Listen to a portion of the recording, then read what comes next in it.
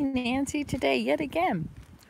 I made a video this morning. I, uploaded it, but I don't know if it ever got there or not.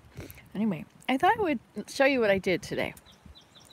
I've been um, out here with Sammy the squirrel. He's a red squirrel. And he was eating, um, I put on the railing over there some um, suet. One of those packages with suet with because it was half eaten by the mice in the summer. So I put it out there for him, or anybody. And actually I was thinking woodpecker first, but he came. And so then he was over here eating and he brought a pile. He brought a big chunk. I mean, for him it was it was this big. It was a huge chunk. So he carried it over here and left it on this railing right there.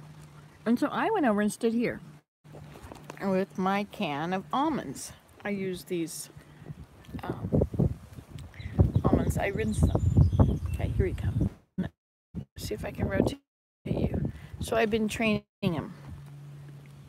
And so he's he's now getting to be well trained. Oops. So what I did is I stood there. Oh, I'm live again. Hello.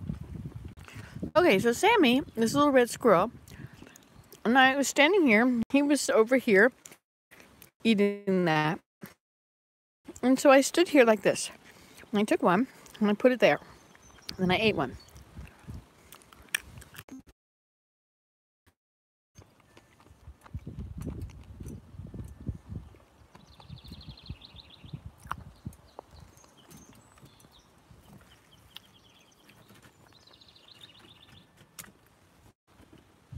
Oh, you're back. Okay, he's looking for some nuts now. Okay, so I was standing here, he, and I reach for this one, and he immediately reaches forward and gets that one first.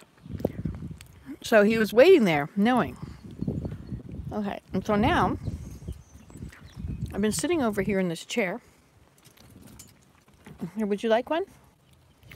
Well, you can come back up on my lap and have it. There you go, I'll put it here.